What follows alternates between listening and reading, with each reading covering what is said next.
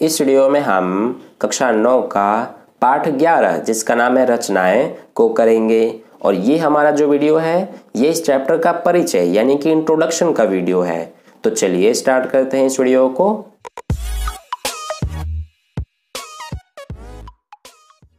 तो देखिए dear students हमारा क्लास नाइन्थ का जो रचना का चैप्टर है, ये तीन बेसिक कॉन्सेप्ट्स पर डिपेंड करता है, जो कि हमारे तीनों बेसिक कॉन्सेप्ट्स ये हैं। ठीक है? यानी कि अगर आप इन तीनों बेसिक कॉन्सेप्ट्स को समझ गए तो आपका क्लास नाइन्थ का रचना का जो चैप्टर है, ये बहुत ही ईजी हो जाएगा। तो इस वीडियो में हम इन्हीं तीनों बेसिक कॉन्सेप्ट्स को समझेंगे।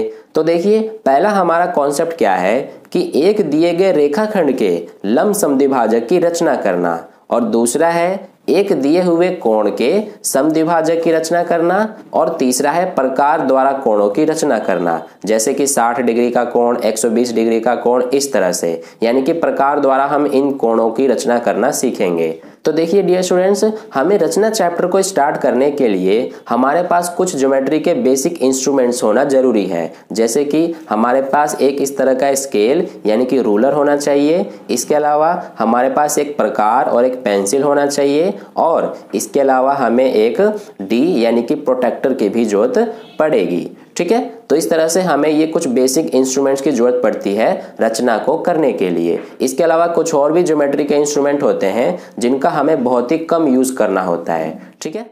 तो देखिए, सबसे पहले हम समझते हैं अपना पहला बेसिक कॉन्सेप्ट जो कि क्या है कि एक दिए गए रेखाखंड के लंब समद्विभाजक की रचना करना। यानी कि मान लीजिए कि आपके पास ये एक रेखाखंड दिया गया है। आपको एक ऐसी रचना करनी है कि ये जो रेखाखंड है, ये दो बराबर हिस्सों में बट जाए। ठीक है? तो देखिए हम ये कैसे करते हैं। ये हमारे पास ये एक रेखाखंड है। हमें इसका लंब समद्विभाजक खींचना है। तो इसके लिए हमें एक प्रकार और एक पेंसिल की ज़रूरत पड़ेगी। तो इस तरह से ये जो हमारा रेखाखंड है, हम क्या करेंगे कि ये हमारा ए बिंदु है और ये बी बिंदु है।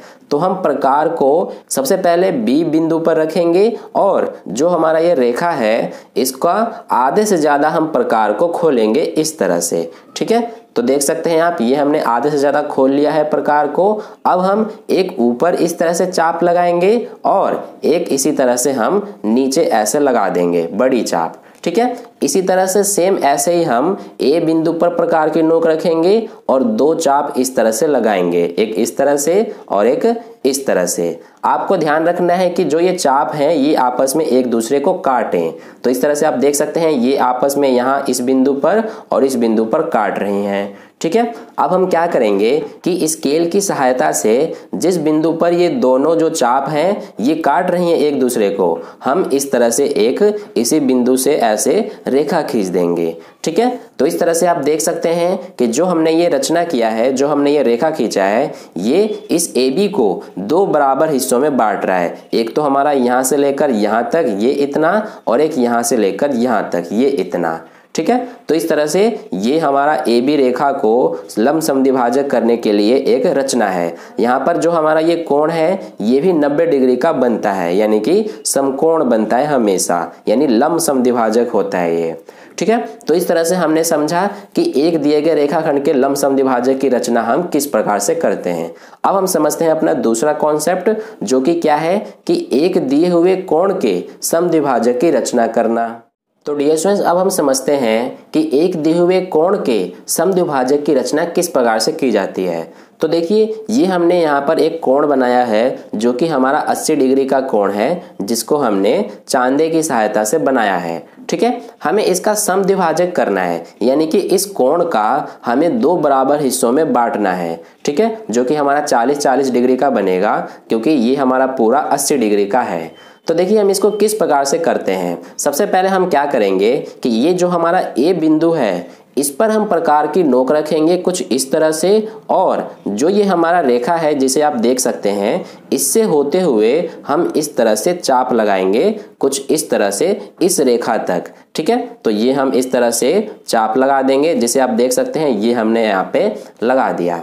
अब हम क्या करेंगे कि जो हमारा ये बिंदु है, जिस बिंदु पर टच हो रहा है, ये हमने जो चाप लगाया है इस बिंदु पर हम प्रकार की नोक रखेंगे और ये हम क्या करेंगे कि इस बिंदु तक, जहाँ पर ये वाला दूसरा जो रेखा है, इस पर टच हो रहा है। इस बिंदु से हल्का सा कम, यानी कि आधे से ज़्यादा हम खोलेंगे इस तरह से प्रकार को, और एक यहाँ पर इस तरह से चाप लगाएँगे, और सेम ऐसे ही हम अब इस बिंदु पर प्रकार की नोक रखेंगे इस तरह से, और एक यहाँ से ऐसे चाप लगाएँगे।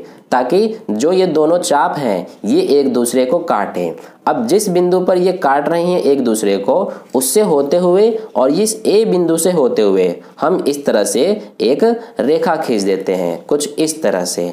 ठीक है? ये हमने रेखा खींच दिया। अब यहाँ से हमारा क्या हो गया कि जो ये 80 डिग्री का कोण है, ये दो बराबर हिस्सों में बट गया। एक तो हमारा ये इतना और एक ये इतना। ठीक है? ये दोनों कितने कितने डिग्री के हो जाएँगे? 40 40 डिग्री के, क्योंकि ये पूरा हमारा 80 डिग्री का कोण है। ठीक है? तो इस तरह से हमने ये समझा कि किस तरह से हम एक कोण के समद्विभाजक की रचना करते हैं। आई होप आपको ये समझ में आ गया। अब चलिए हम अपना तीसरा जो हमारा बेसिक कॉन्सेप्ट है, उसकी तरफ़ बढ़ते हैं। तो डीएसएस हमारा तीसरा बेसिक कॉन्सेप्ट है प्रकार द्वारा कोणों की रचना करना। तो देखिए, हमारे कुछ ऐसे विशेष कोण होते हैं जिनको हम प्रकार की सहायता से बना सकते हैं। बिना चांदे का उपयोग किए, जो कि हमारे कुछ कोण होते हैं, जैसे कि हम 60 डिग्री का कोण बना सकते हैं, इसके अलावा 120 डिग्री का बना सकते हैं, इसके अलावा 90 डिग्री का कोण बना सकते हैं, इसी तरह से 30 डिग्री 45 डिग्री और भी बहुत सारे कोण हम बना सकते हैं। अगर आपको सीखना है कि प्रकार की सहायता से हम कितने और किस तरह से कोण बना सकते हैं तो उसके लिए मैंने एक अलग वीडियो बनाया है पर्टिकुलर जिसका लिंक आपको इस वीडियो के डिस्क्रिप्शन में मिल जाएगा। वहाँ पर क्लिक करके आप बहुत ही आसानी से सीख सकते हैं। ठीक है? तो देखिए, यहाँ पर हम कुछ बेसिक जो कोण होते हैं, उनको बनाना सीखेंगे प्रकार की सहायता से। ठीक है? सबसे पहले हम समझते हैं कि 60 डिग्री का कोण हम कैसे बनाएँगे। तो देखिए, इसके लिए हम क्या करेंगे कि यहाँ पर हम स्केल की सहायता से सबसे पहले एक हम इस तरह से रेखा खींच लेंगे, अपनी मर्ज़ी से कितना भी बड़ा। ठीक है? ये हमने खींच लिया। अब हम क्या करेंगे? इसको नाम दे देते हैं ए बिंदु और इसको नाम दे देते हैं बी। यानी ये हमारा ए बी रेखा हो गया।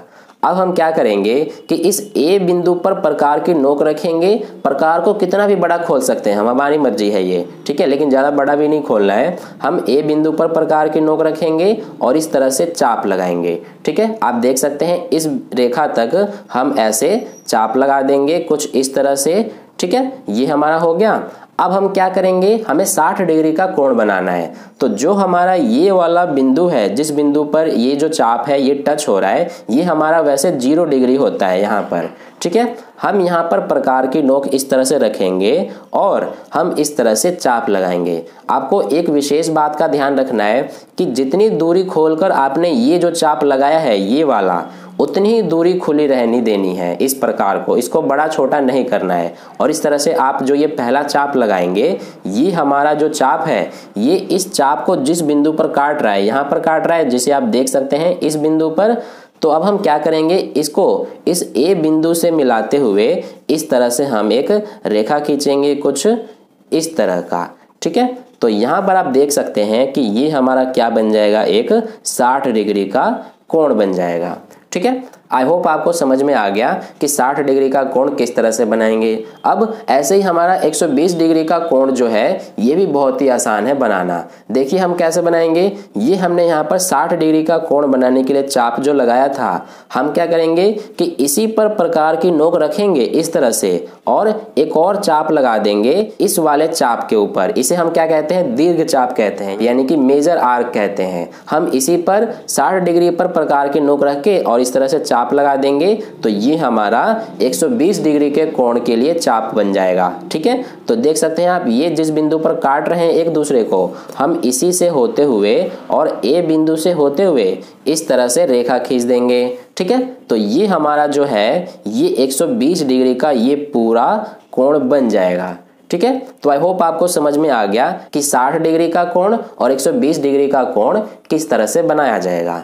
ठीक है? अब हम बात कर लेते हैं इसके अलावा कि 30 डिग्री का कोण कैसे बनेगा? यानी कि 30 डिग्री का कोण आसान है, इसको सबसे पहले हम बनाना सीख लेते हैं।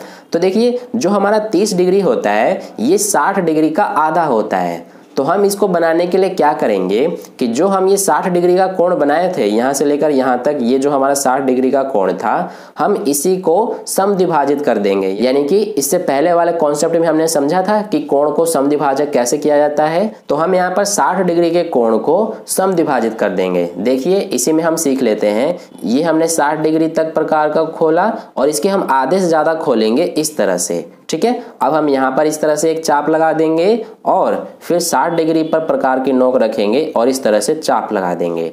ठीक है? जिस बिंदु पर ये काट रहे हैं, उससे होते हुए, हम ए बिंदु से होते हुए इस तरह से रेखा खींच देंगे। ठीक है? तो ये हमारा जो है, ये 30 डिग्री का कोण बन जाएगा इस तरह का। ठीक है? तो ये हमने समझा कि 60 डिग्री का 120 डिग्री का और 30 डिग्री का कोण किस तरह से बनाया जाता है। अब हम समझते हैं कि 45 डिग्री और 90 डिग्री का कोण कैसे बनेगा। तो उसके लिए सबसे पहले हम क्या करेंगे कि एक सबसे पहले हम इस तरह से रेखा खींचेंगे कुछ इस तरह का। ठीक है? इसका हम नाम दे सकते हैं कुछ भी, जैसे कि ए बी। हमने नाम दे दिया।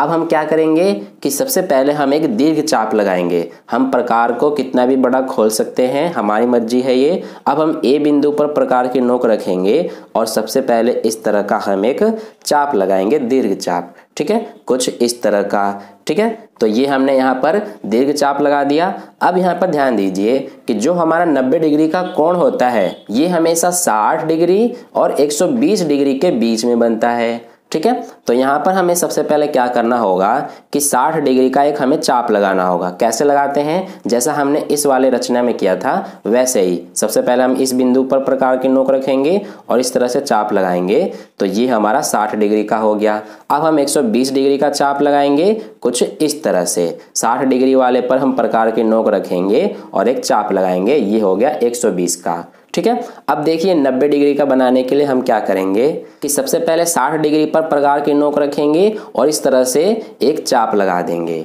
ठीक है? इन दोनों 120 और 60 डिग्री के बीच में हमारा 90 डिग्री का बनेगा। अब हम यहाँ 120 डिग्री पर प्रकार की नोक रखेंगे और इस तरह से एक अन्य चाप लगा देंगे।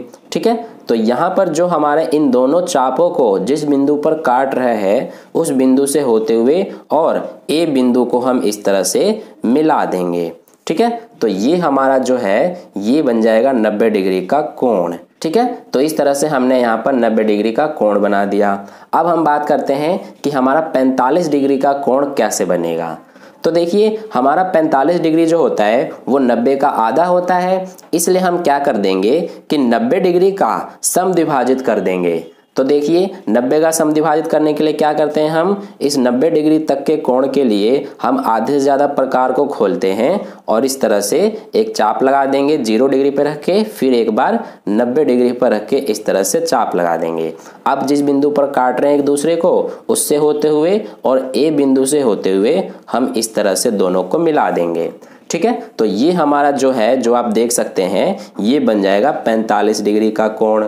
तो इस तरह से हमारा ये कुछ बेसिक कोण थे जो आपको बनाने आने चाहिए। तो इस तरह से इस वीडियो में बस इतना ही। अगर आपको वीडियो अच्छा लगा है तो इस वीडियो को लाइक कर दीजिएगा। और पहली बार वीडियो को देख रहे हैं तो चैनल को सब्सक्राइब करके बगल में जो बेल आइकन आता है, उस पर ऑल वाले पे क्लिक कर लीजिए ताकि नेक्स्ट वीडियो जैसी अपलोड की जाए, उसका नोटिफिकेशन सबसे पहले आपको मिले। और अपने दोस्तों के साथ भी इस वीडियो को शेयर कर दें ताकि उन्हें भी इससे हेल्प मिल जाए। और कहीं भी डाउट है तो आप कमेंट करके मुझसे पूछ सकते हैं। तो फिर मिलते हैं नेक्स्ट वीडियो में नए प्रश्न के साथ। तब तक के लिए अपने ध्यान रखें। धन्यवाद।